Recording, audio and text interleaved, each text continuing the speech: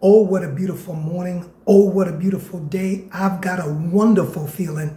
Everything is going your way. Happy Sunday to you.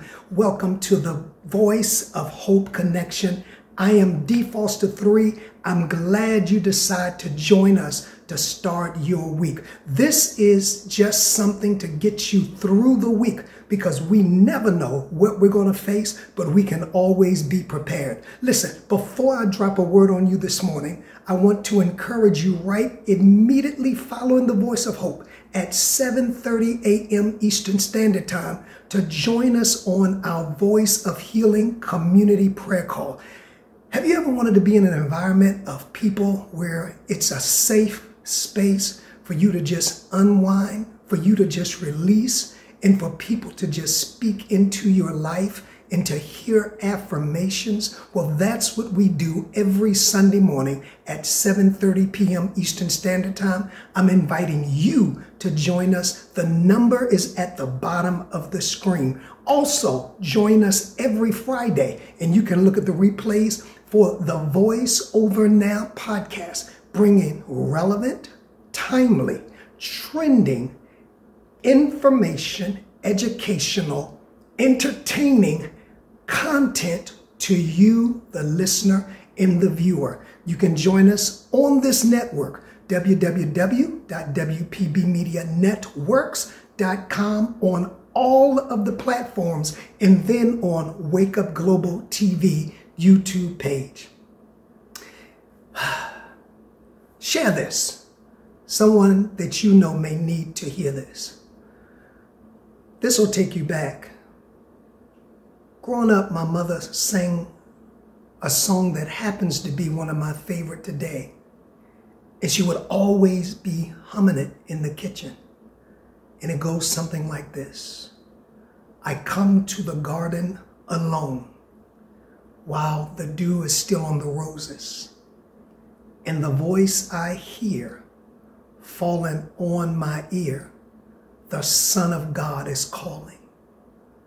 Then it goes into this, and he walks with me and talks with me, and he tells me I am his own. And the joy we share as we tarry there, no other has ever known. Now, why would I start this off with that song? Because it's as relevant and true today as it was when the author penned it. I'm not sure what we're going to face this week because times are very uncertain. But in lieu of feeling hopeless, sometimes we miss what's right in front of us.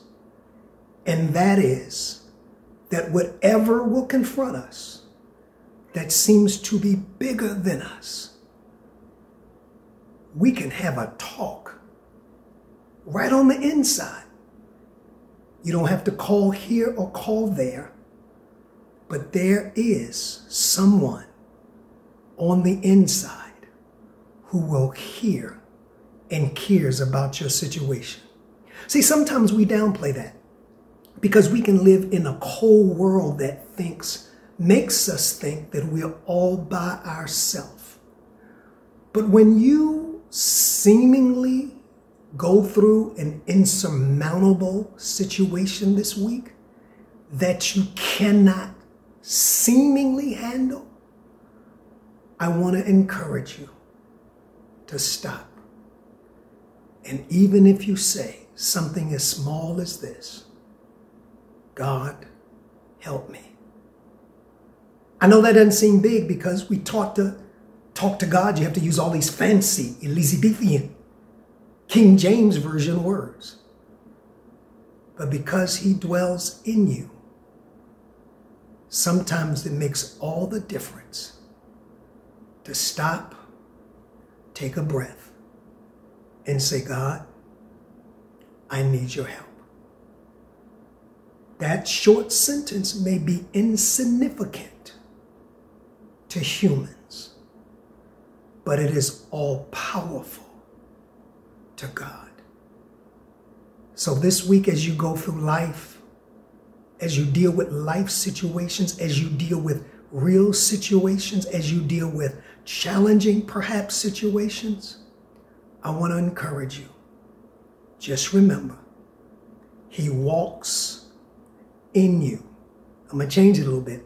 He talks to you. And He tells you and reminds you that you belong to Him. And the joys you share, if you would just tarry, stop right there. I promise you, no other has ever, ever known. What a blessing to know that we don't have to look far, but there's a comfort on the inside of us. The Spirit of God, God Himself, that is willing and able to listen to whatever we have to say. So as you go through the week, I want to encourage you. Don't forget to tarry there. Before you fall apart, before you throw your hands up in surrender, before you get discouraged, don't forget to tarry. My aunt used to say years ago, she's transitioned now. Aunt Evelyn used to say, when I would be talking to her or I leave her house, don't forget I am as close to you as your nearest phone. Well, I got a better one for you. God is close as is close to you as your lips, as your thoughts, as your attitude. None other has ever known. I want you to like this. I want you to share this. I want you to follow us. I'm encouraging you as you walk through this week. Remember, there is a voice of hope. Let's connect to it. I'll meet you on the call.